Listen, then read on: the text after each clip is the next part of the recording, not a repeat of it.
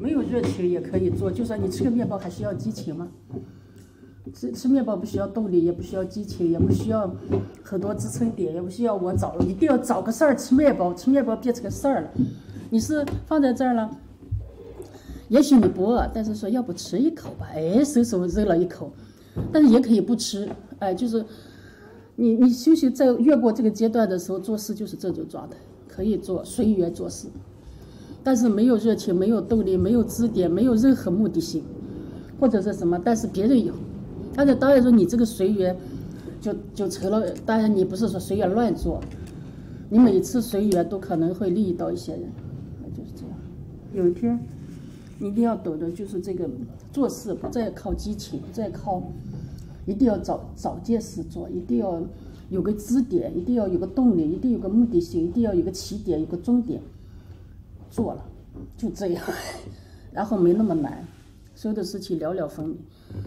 哎不在于不在于结果是什么，这个时候你就差不多了，休息就差不多了，就可以做事了。但是如果你觉得，哎，我我我我这两天这这萎靡，或者是既不亢奋也不懈怠，就这么在中间晃，我能不能要不做点事？感觉这个还欠点，要么不一做就疲惫。知道吗？不做还觉得没事儿做，但一做力力量就又不够，激情不够，动力不够，持续性不够，耐心不够，而且别人一否定你，你就烦了，就受不得打击，然后还在意别人说啥，嗯，还要肯定，还要鼓励，还要支持，但这个时候也不是不能做事，唉，太累了。就 是就是还不能不能就是就像吃面包这样做事，就这么简单的一件事，面包放在这儿，伸手就拿，往嘴里塞，啥也不想，就做事，那个时候就舒服。那这个状态还需要持续几天？现在公司现在都是这种状态，刚刚刚刚还过阳了都没没动力，因为以前你们做事都是靠激情、靠动力、靠目的性。或者是靠一个体现自我的价值，有一个成就感，觉得我活着还有点意义嘛，有点用，反正都是那样，或者争口气，然后然后就是以前是靠这个，中间修修修修修没了，慢慢慢慢，然后动力也没了，皮他皮他皮他，那那一段时间是最难过的。然后又平回来了，又觉得哎，也可以做，也可以不做，但好像这个心懒懒散散的，就好像收不回那个气了，懒散的，皮他，心里想做点事吧，就没有以前那种冲劲跟那种还那种样子了。然后再过一段，再过去，再再再这样，再专注力不够，定力不够，再再修，突然心地清明，清明的时候就可以利益众生了。你所做的事就不是前面的动力激情。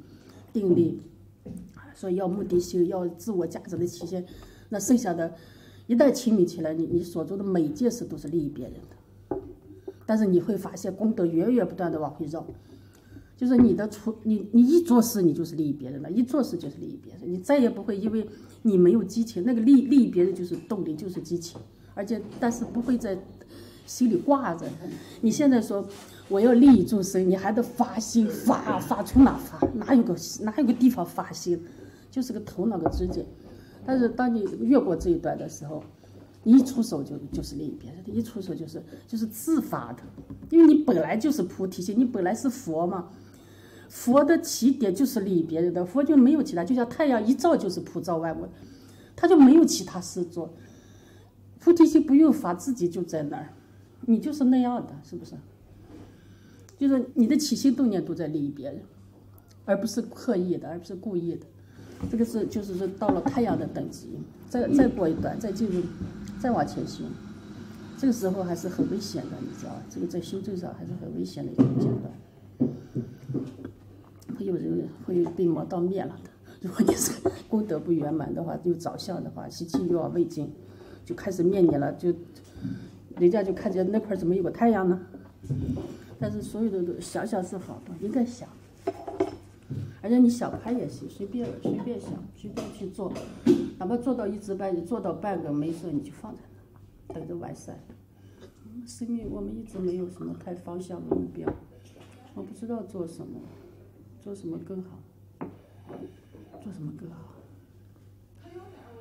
然后你就想想啊，就会说，哎，他做什么更好？他做什么更好？他做什么更好？哎，你就知道做什么了。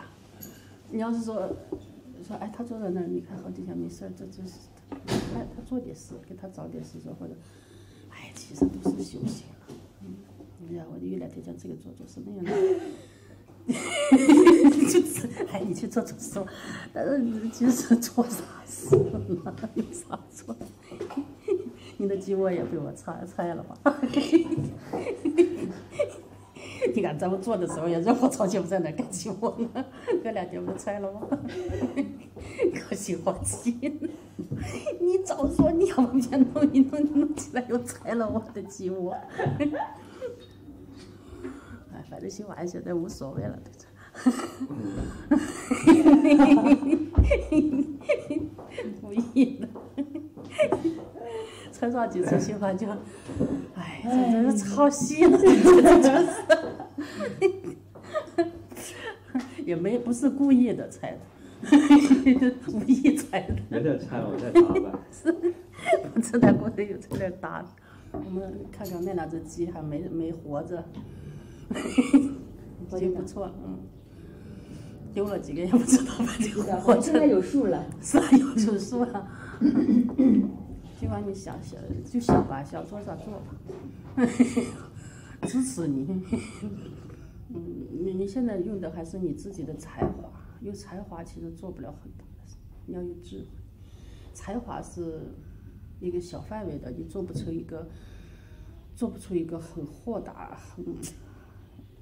如果你有才华去做事，做一些涵盖面积很大的是吧，很累，知道吧？但智慧跟才华不一样的是，智慧就是心量完全打开了，不再局限在自我的这个些，永远看别人，就是你看，或者是你看起看不起，每一个人都是这个世界上很很位置很重要的一个人，在这个世界，你会在他身上发现你你没有的东西，在他身每一个人，当你的心一旦这样去关注身边的人，你的心就打开了，智慧就打开了。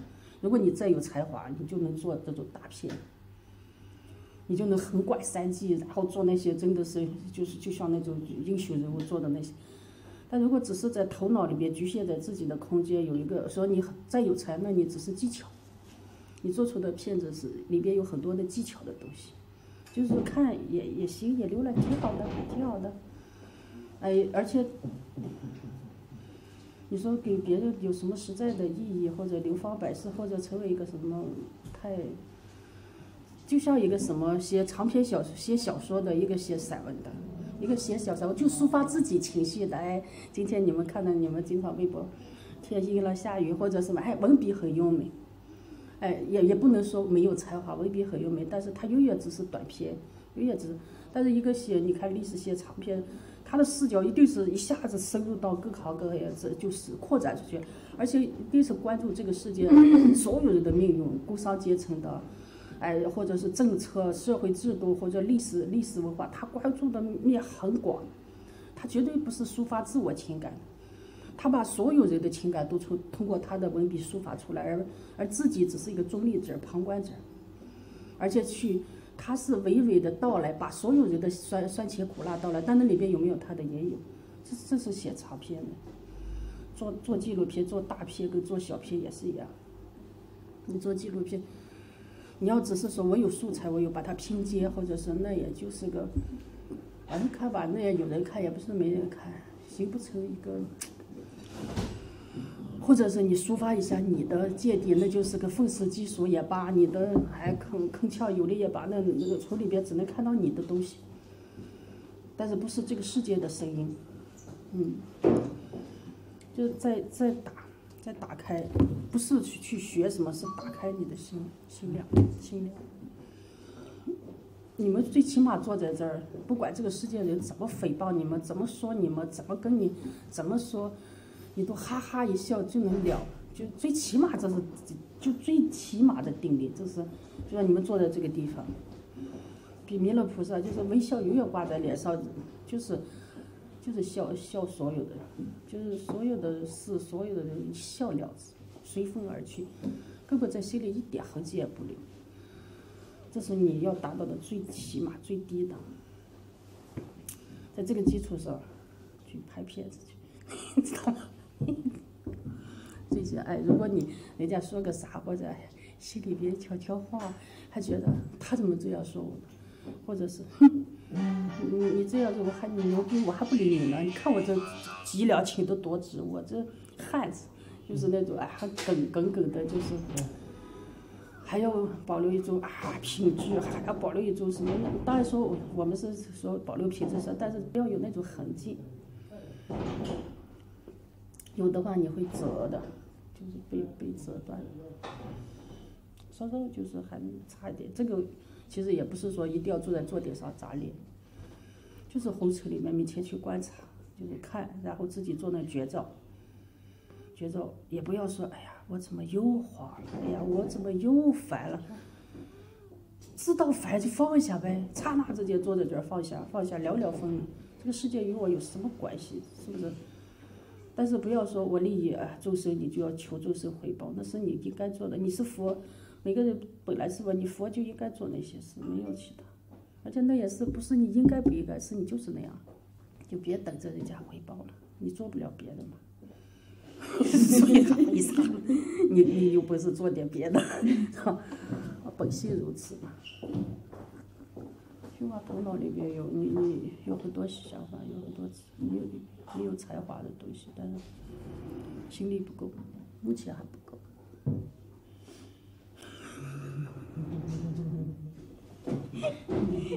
你的激情啊，你的激情要放下了，放下了。是吗？想什么的心里就够了。心说心说心话什么的，心里心话就充上电了，因为我不懂。其实最怕的就是有时候我们哎呀很兴奋的想到一个字典，但大家全部给你泼凉水，你说不行，你能行吗？不行。嗯，然后呢，如如不动，然后想想行还是不行，但疑不疑惑不动，然后做也行，不做也行，但是心动，嗯，哎，真的你是不知道，你你你在修的有点功夫的时候，啥也能做，这世界就哪一行都能拿。根本就不是问题，想转哪行的，想做啥做啥，真的，哪有说哎，哪有那么难的事？就是最累的就是较真，一较真就累，然后求结果较真，还没做呢就开始累了。如果不求结果不较真，做了越做越远越做越远，然后你就像个孩子在那玩游戏摆家家，然后怎么摆也像。计划你那个历史片。你那个什么片？你坐在中间，这摆这边，哎，摆这边就摆这边。你会问问我说，哎，摆这边老师好吧？我随便你摆，你你坐在中间的不随便你摆，怎么摆也好看。你那些镜头怎么摆也好看，那有啥？那你心好看吗？怎么摆真的怎么摆怎么像。你要较真，你就坐在这个地方，坐在一个角度上，你看的永远是你一个视角，你这两边肯定看不到。你不在中间，你不是以玩的心态做的，你是有。有所求、有所成就感的心态做，那个就累，嗯，而且收获也不大。就说是最多也就是个商业的，比方明天我们做个记录卖点钱，或者是我怎么有人播，哎，你肯定做出来。如果做好的话，你可能哪个频道也播你。但是你自己也不会受益，然后就是就是就是在工作，就是一份工作，你做了一个事情。然后通过这个事情做了一些事，然后也许有人认可你，有人骂你，又不认可你，叫了他就说你，说他拍的不好，活不出啥意义来。怎么了解啊？就是说，任何时候你不要错过这个安住在这个地方的游戏的那种，就是在这儿你坐在这儿的时候，千万不要错过你在游戏在中心，你在这儿，然后一切都在围着你，就是一圈一圈的玩，然后安住。不要不要想想想，出去了，不管在哪，都是以中心的位置在做事。你觉得，比如养鸡呀，被拍纪录片，哪个好呢？行，我只举个例子。一样的，我看，对我来看，我会干什么行？现在就是找个事儿就，然后养鸡。养鸡也行，你会把鸡拍的非常美，知道吗？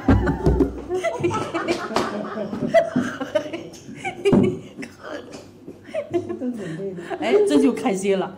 当你在养鸡棚里有有非常大的乐趣的时候，你蹦出去，你的纪录片绝对做的非常非常漂亮。否则你的纪录片简直是揪一把 揪一把，就是那种沉重的，像我们看完了拍二十七七节气也是雾蒙蒙的。你你把那个鸡给咱拍的妙趣横生，啊，你你再做纪录片，然后跟鸡交流的平等的交流。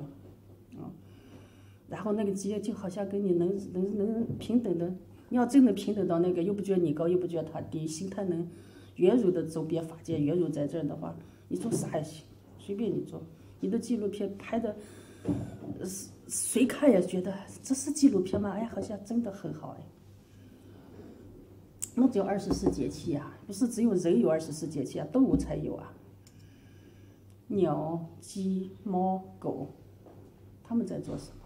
你为什么只关注人类？人类已经不注重二十四节气了，是不是？动物才在呢。你去拍鸡呀，是吧？天地人合一的状态，在动物里边更更它更明显了。人乱七八糟乱想，现在都不跟着节气走了。